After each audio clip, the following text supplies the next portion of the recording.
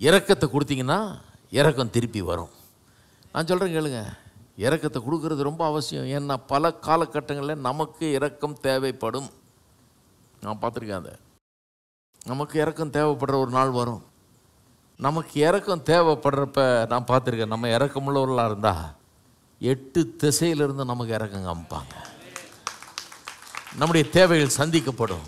அற்புத விதமாய் நமக்கு உதவி வந்து சேரும். எதிர்பாராத விதமாக கருணை காட்டுவாங்க ஜனங்க. எதிர்பாராத விதமாக they will reach out to us நமக்கு உதவும்படியாக உதவிக்கரம் நீட்டுவார்கள்.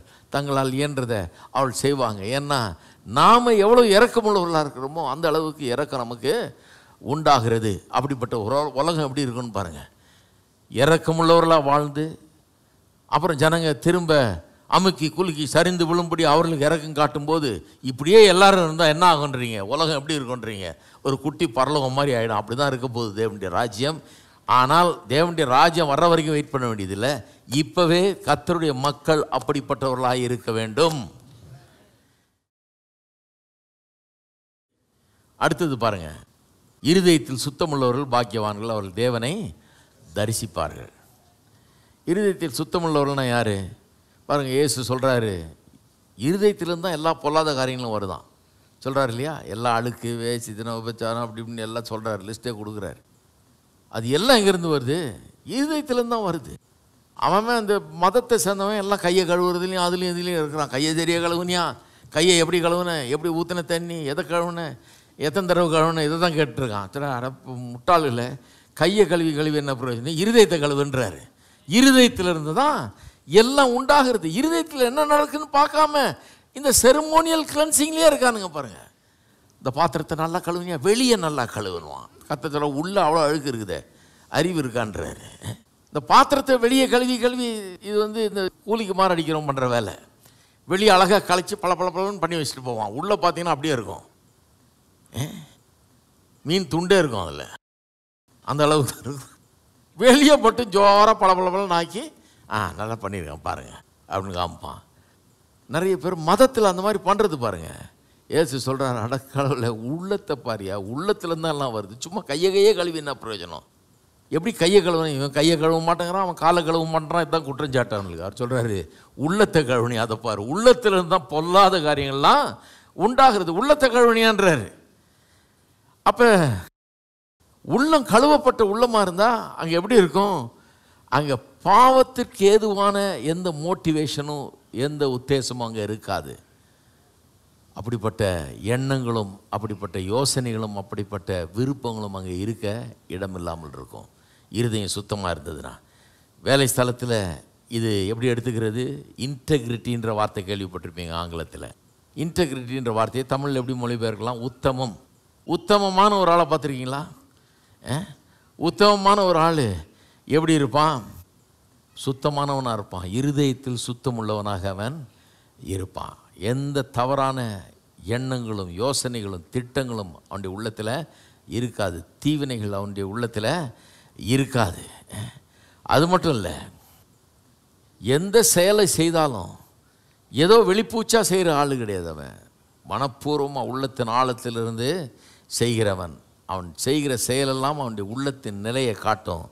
நல்ல செயல்களாக அது இருக்கும். உத்தமம் இருந்தால் சரியாக நடந்து கொள்வான். உத்தமம் எப்படி பாதிக்குது பாருங்கள் மற்றவர்களை குறித்து அதையும் இதையும் கதையெல்லாம் நம்ப மாட்டான். இன்றைக்கி பாருங்கள் இந்த வாட்ஸ்அப்னு ஒன்று வந்துருக்குது. வாட்ஸ்அப் உலகம்.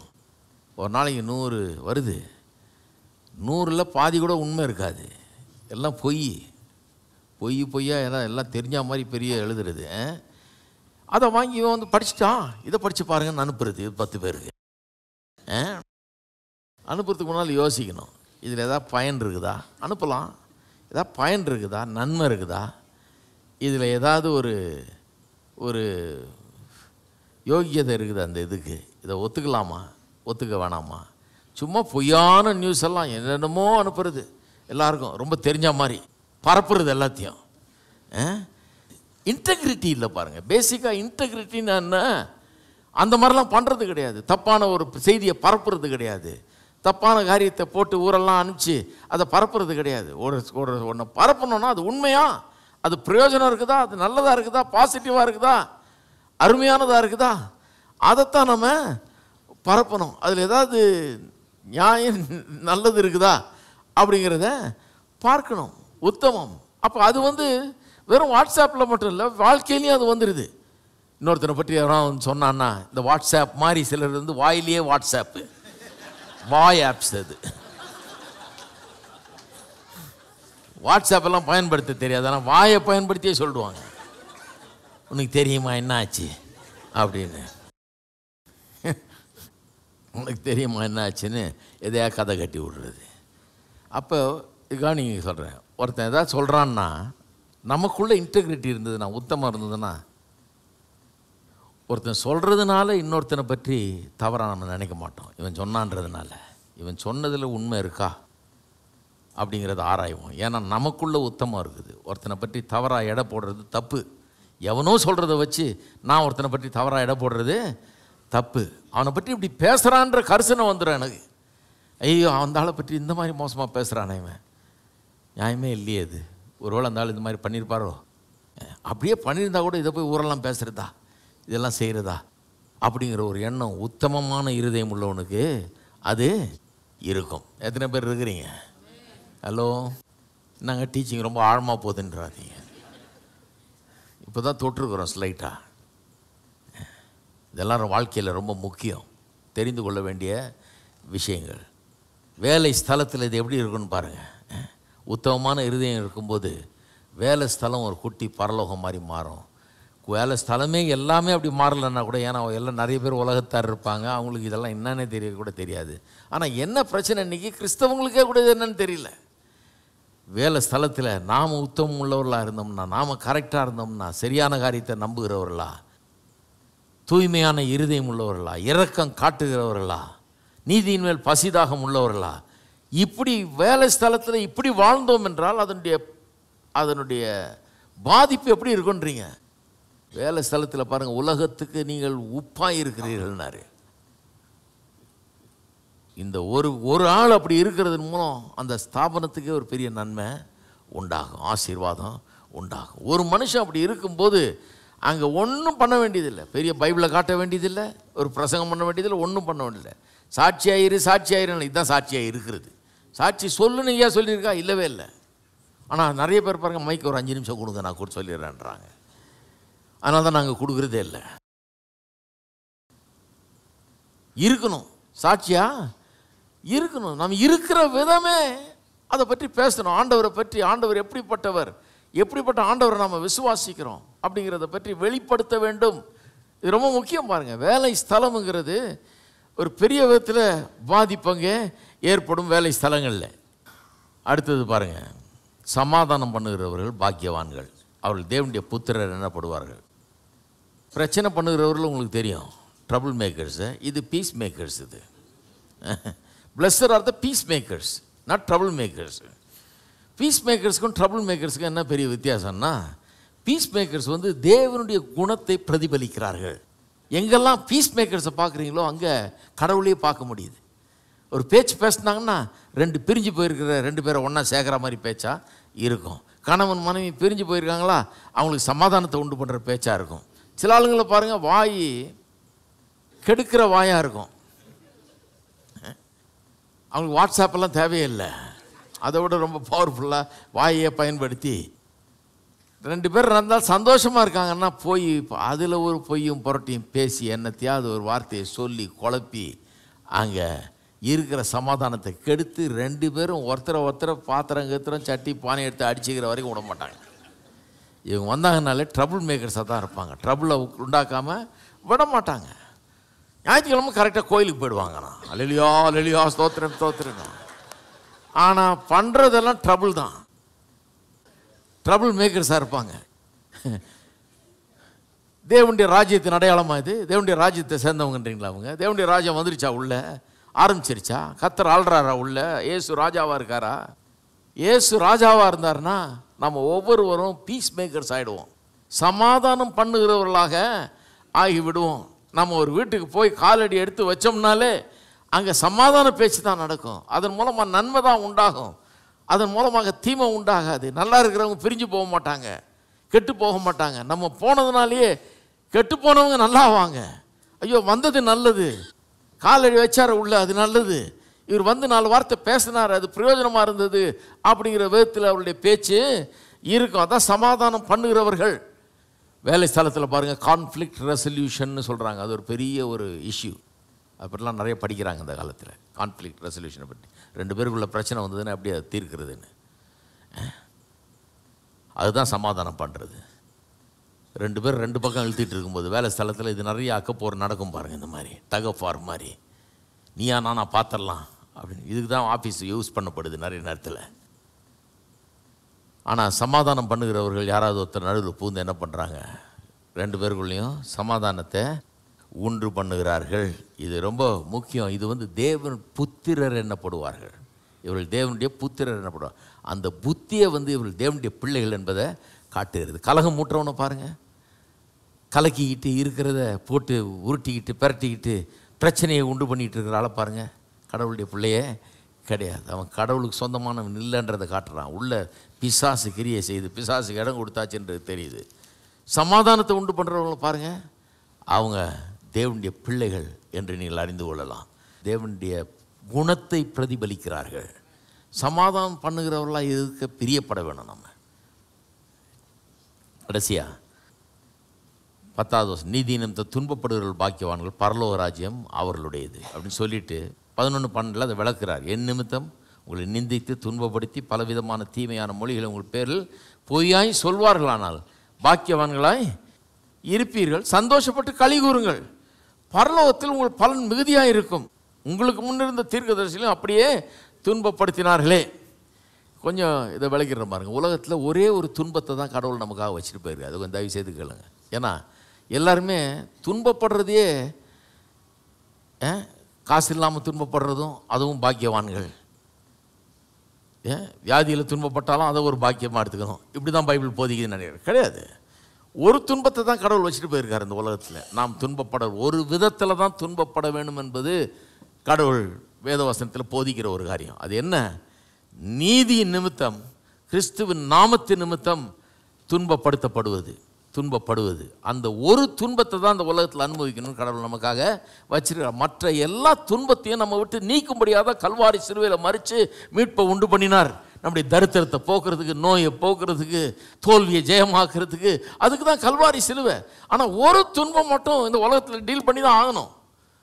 ஒரு விதத்தில் துன்பப்பட்டு தான் ஆகணும். அது என்ன?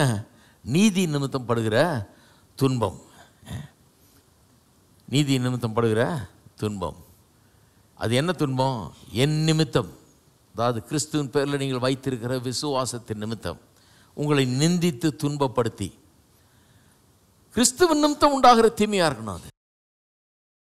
வேற எதுனாலையும் உண்டாகக்கூடாது நம்ம பண்ண தப்புனால நமக்கு உண்டாகிற தீமைகள் இல்லை. சில நம்ம பேர் நம்மளே தப்பு பண்ணிவிட்டு தீமையை நம்மளே வர வச்சுக்கிறோம். அப்புறம் கத்தர் எப்படியோ இந்த பாடுகளை எனக்கு கொடுத்துருக்காரு பிரதர் கத்தரை கொடுத்தாரு அந்த பாடு. நம்ம வர வச்சுக்கிட்டது அதெல்லாம். நம்ம பண்ண அட்ட அட்டகாசத்தில் இப்படி வருது. என்ன எந்த துன்பம் நம்ம அனுபவிக்கணுன்றாரு என் நிமித்தம் உங்களை நிந்தித்து துன்பப்படுத்தி பலவிதமான தீமையான மொழிகளை உங்கள் பேரில் பொய்யாய் சொல்வார்களானால். இன்னொன்று கவனிங்க. துன்பம்ன்றது அடி உத வெட்டு கூத்து அது சொல்லலைங்க. அது நடக்குது சில நேரங்களில். ஆனால் அதை கூட சொல்லலை. அதை காட்டிலும் ஸ்ட்ராங்கான ஒன்று சொல்லுது. ஏன்னா இதுதான் தினந்தோறும் நம்ம சந்திக்கிறது. கிறிஸ்தவர்கள் ஒவ்வொரு நாளும் ஒவ்வொரு நாளும் சந்திக்கிற ஒரு விஷயம். அது என்ன? நிந்தனை பலவிதமான தீமையான மொழிகளை வார்த்தைகளை வைத்து நம்மளை காயப்படுத்துவது பொய்யை சொல்வது நம்மளை பற்றி எத்தனை பேருக்கு தெரியும்? கல் எடுத்து கூட அடிச்சிடலாம் ஒருத்தனை. தடியால் கூட அடிச்சிடலாம். அந்த காயம் அவ்வளோ பெருசாக இருக்காது. ஆனால் வார்த்தைகள் உள்ளத்தை கிழிக்குது. வார்த்தைகள்னால ரொம்ப ஆழமாக காயப்படுத்த முடியும் ஜனங்களை. வார்த்தைகள் ரொம்ப பொல்லாதது பாருங்கள் அதனால தான் கல் எடுத்து அடிக்கிறவன் எவ்வளோ பரவாயில்ல. தறி எடுத்து அடிக்கிறவங்க கூட பரவாயில்ல. இந்த வார்த்தைகளால் நிந்திக்கிறது இருக்குது பாருங்கள் ரொம்ப மோசம். அதை பற்றி தான் இங்கே கான்சென்ட்ரேட் பண்ணுறாரு இயேசு.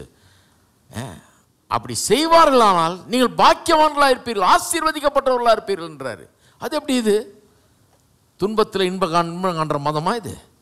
துன்பப்பட்டா சந்தோஷம் மகிழ்ந்து களி சந்தோஷப்பட்டு களி கூறுங்கள்ன்றாரு ஆங்கிலத்தில் ரொம்ப நல்லா வருது. Rejoice and be exceedingly glad ரொம்ப சந்தோஷமா இருங்கன்றாரு. ரொம்ப சந்தோஷமாக இருங்கன்னா என்ன? சொல்லித்தராரு பாருங்கள் எப்படி இதை ஹேண்டில் பண்ணுறது இது வாழ்க்கையில் ஒவ்வொரு நாளும் நாம் சந்திக்கிற ஒரு காரியம். நம் கத்தர் பேரில் வைத்திருக்கிற விசுவாசத்து நிமித்தம் நான் கிறிஸ்தவனாக இருக்கிறது நிமித்தம் அநேக நேரத்தில் துன்பங்களை சந்திக்கிறோம். பல க பல இடங்கள்லேருந்து அது உண்டாகலாம். துன்பத்தை சவிக்கிற ஒரு நிலைமை உண்டாகலாம். நம்ம பலர் வெறுக்கலாம் நிந்திக்கலாம் பேசலாம் பொய்யாய் குற்றஞ்சாட்டுகளை சொல்லலாம் இப்படியெல்லாம் பண்ணலாம். ஆனால் பொய்யாய் சொல்வார்களானால் உண்மையாக சொல்வார்களானால் அதை கேட்டு திருந்திங்க பொய்யாய் சொல்வார்களானால் அவன் சொல்கிறது நியாயம் தானே அப்படின்னு கேட்டு என்ன பண்ணணும்? கடவுள்கிட்ட போய் மன்னிப்பு கேட்டு கரெக்டாக ஆகிடணும் ஆனால் பொய்யாய் அவர்கள் சொல்வானால்னால் நீங்கள் பாக்கியவான்களாக இருப்பீர்கள் ஆசீர்வதிக்கப்பட்டவர்கள் நீங்கள்ன்றாரு ஏன்? சந்தோஷப்பட்டு களி கூறுங்கள்ன்றாரு நானாக இருந்தால் அன்றைக்கி தான் போய் நல்ல ஒரு பாயா ஆர்டர் பண்ணி நல்லா உட்காந்து நிதானமாக சாப்பிட போகிறேன் எனக்கு பிடிச்சது ஐட்டம் அது. ஏன் நான் அநியாயமாக ஒருத்தன் பேசிட்டான். அதை கொண்டாட வேணாமா? சிலர் என்ன பண்ணுறது உட்காந்து அழுதுட்டு இருக்கிறது. சொல்லுவாங்க பாஸ்டர் உங்களுக்கு தெரியாது. அன்றைக்கி பூரா நான் அழுத நான் கூட அழுதுருக்கிறேன் அந்த காலத்தில். அப்புறம் தான் கற்றுக்கிட்டேன் இயேசுடைய பாலிசியில் வந்துட்டேன். ரொம்ப அழுதம் பாஸ்டர். பசியே எடுக்கல எனக்கு. அந்த மாதிரி வார்த்தையை சொல்லிட்டாங்க. தாங்கிக்கவே முடியல. நான் சொல்கிறது ஐயோ வெளியே சொல்லிட்டாதீங்க அவன் கேள்விப்பட்டால் ரொம்ப சந்தோஷப்படுவான். பிசாசு கேள்விப்பட்டால் இன்னும் அதிகமாக சந்தோஷப்படுவான். ஏன்னா உங்களை அழிக்கிறதுக்கு உங்களுடைய கான்ஃபிடென்ஸை குலைக்கிறதுக்கு உங்களை இந்த மாதிரி டிஸ்டர்ப் பண்ணுறதுக்கு தான் அவங்க சொல்கிறாங்க அதை. சொல்கிறவங்க எதுக்கு சொல்கிறாங்க உங்கள் சமாதானத்தை கெடுக்கிறதுக்கு உங்களை கீழே தள்ளுறதுக்கு போட்டு மிதிக்கிறதுக்காக சொல்கிறாங்க அப்போ நீங்கள் உட்காந்து அழுதுட்டு இருந்தீங்கன்னா அதை கேள் கேள்விப்பட்டால் அவன் பாயா சாப்பிட ஆரம்பிச்சிருவான். ஆ வேலை நடந்திருக்குது. சொன்னேன் போய் கிடச்சிருக்கு போல இருக்கேன்னு. ஆனால் நீங்கள் பாயா சாப்பிட்றத கேள்விப்பட்டா வெறுத்து போயிடுவான் அவன். என்னடா இவ்வளவு சொன்னோம் இவ்வளவு பேச்சு பேசணும். இவ்வளவு வாயை விட்டு திட்டி இருக்கிறோம் இவ்வளவு சொல்லி இருக்கிறோம் இவ்வளவு பரப்பி இருக்கிறோம். இன்னும் கூட வெக்கமே இல்லையா அந்த ஆளுக்கு? சொரணியே இல்லையா? சொரணை இல்லை. ஏன்னா கத்தர் சொல்கிறாரு நீங்கள் பாக்கியவான்களாக இருப்பீர்கள். ஆசீர்வதிக்கப்பட்டவர்களாக இருக்கிறீர்கள். அதில் ஒன்று சொல்கிறாரு பாருங்க. உங்களுக்கு முன்னிருந்த தீர்க்கதரிசியிலும் அப்படியே துன்பப்படுத்தினார்கள். சொல்கிறாரு தீர்க்கதரிசியில் எத்தனை பேர் கத்தர் அனுப்பிச்சாரு? வார்த்தைகளை கொடுத்து அனுப்பிச்சாரு. நல்ல தேவ மனிதர்கள். அவளை அடித்தாங்க கொன்னாங்க எல்லாம் பண்ணாங்க பழைய ஏற்பாட்டு காலத்தில். தீர்க்கதரிசிகளை. இயேசுவை என்ன பண்ணாங்க? ஒரு தப்பு பண்ணாரா அவர்? ஒரு தப்பு பண்ணியிருக்காரா? பிசாசே வந்து சொல்கிறான் அவர் பிசாசே வர்றான் அவர்கிட்ட அவர்கிட்ட ஒன்றும் காணவில்லை. அவனால் ஒன்றும் கண்டுபிடிக்க முடியல ஒரு குறை கண்டுபிடிக்க முடியல அவன் ஆனால் இந்த மதவாதிகள் என்ன தெரியுமா சொன்னாங்க? இந்த ஆள் பிசாசு பிடித்தவன் இயேசுவை சொல்கிறாங்க பிசாசு பிடித்த மனுஷன் இந்த ஆள் அப்படிங்கிறாங்க. எப்படி இருந்திருக்கும் பாருங்கள் எவ்வளோ ஊண்டிங்காக இருந்திருக்கும். அவ்வளவு வியாதியஸ்தில் சொஸ்தமாக்கி நன்மைகளை செய்தவரை பார்த்து பிசாசு பிடித்தவர் இவர். பெரிய பிசாசை வச்சுக்கிட்டு ஒத்தாசிக்கு இவர் சின்ன பிசாசெல்லாம் ஓட்டிகிட்டு இருக்கிறாரு அப்படின்னாங்க. ஏசு உட்காந்து அழுதாரா? கிடையாது. போய் இன்னும் நிறைய பிசாசை ஓட்ட ஆரம்பிச்சார். சொல்ல சொல்ல இன்னும் கொஞ்சம் ஓட்ட ஆரம்பிச்சார். அப்படி தான் இருக்கணும் பாருங்கள் இன்னும் ஓட்ட ஆரம்பித்தார் கடைசியில் இவர் தான் கரெக்டுன்றது நிரூபணம் ஆயிடுச்சு சிலுவையில் போட்டு அரைஞ்சாங்க துப்புனாங்க சிரித்தாங்க பகைச்சாங்க எல்லாம் பண்ணாங்க. இவர் தொல் தொலைஞ்சாருன்னு கொண்டாடினாங்க. மூணாவது நாள் தேவன் அவர் உயிரோடு எழுப்பினார். பரலோகம் வரை உயர்த்தினார். வலது பாரசத்தில் உட்கார வைத்தார். வானத்திலும் பூமியிலும் பூமிக்கு கீழானோர் மத்தியிலும் மேலான நாமத்தை அவருக்கு தந்து எல்லா நாவுகளும் முழங்கும் எல்லா முழங்கால்களும் முடங்கும் என்று ஆக்கிட்டாரு. இவருடைய நாமத்துக்கு கீழ்ப்படியாத எந்த அதிகாரமும் சக்தியும் கிடையாது உலகத்தில்.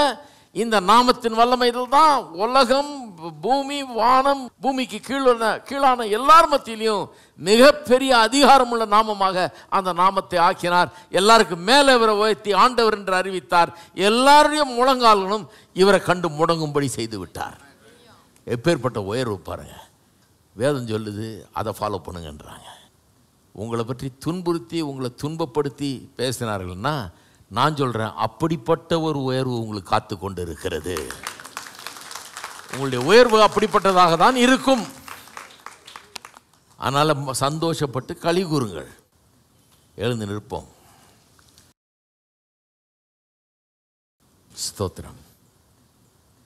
எல்லாரும் கரங்களை உயர்த்தி நாம் கத்தரை ஸ்தோத்தரிப்போம். எங்கள் அன்பின் பிதாவே கத்ரா இயேசுவின் நாமத்தில் மண்டையில் வருகிறோம் துதிக்கிறோம் ஸ்தோத்தரிக்கிறோம். இந்த மாலை வேளையிலே எங்கள் உள்ளங்களோடு நீர் பேசினபடியால் உமக்கு ஸ்தோத்திரம். அநேகருக்கு இது உதவியாக இருக்கட்டும் கர்த்தாவே.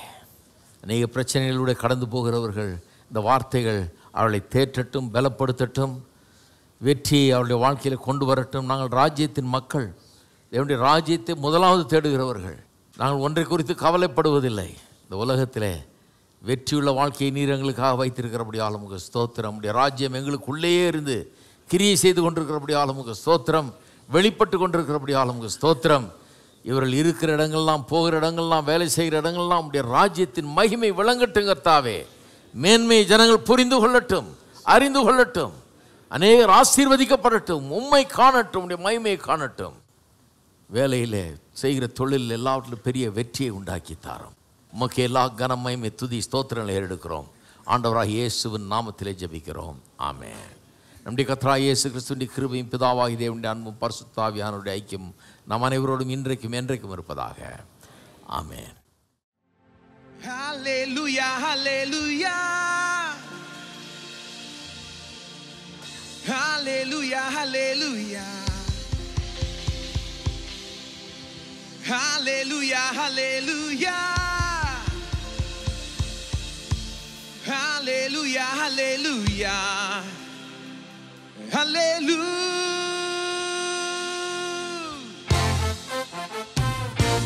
எல்லோரும் அப்படியே கரங்களை தட்டி கொஞ்சம் நடம் ஆடி கூட